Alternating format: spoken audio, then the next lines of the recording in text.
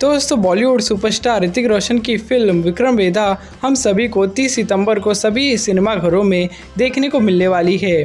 इस फ़िल्म का टीज़र हम सभी को कुछ दिनों पहले ही देखने को मिला था, जो कि काफ़ी ज़्यादा ज़बरदस्त है और सभी जगह पर यह टीज़र ब्लॉकबस्टर भी साबित हुआ है। लेकिन देखा जाए तो अब फ़िल्म के टीज़र के बाद अब बारी है फ़िल्म के ट्रेलर की। तो दोस्तों, इस वीडियो में बात करेंगे कि फ़िल्म के ट्रेलर का अनाउंसमेंट कब तक हमें देखने को मिलेगा।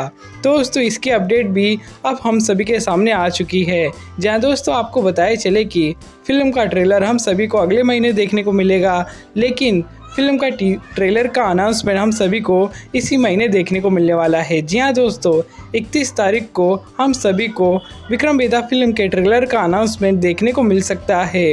इसकी अपडेट काफ़ी ज़्यादा वायरल हो रही है सोशल मीडिया पर। जी हाँ दोस्तों 31 तारीख को हम सभी को विक्रम वेदा फ़िल्म के ट्रेलर का अनाउंसमेंट देखने को मिल सकता है।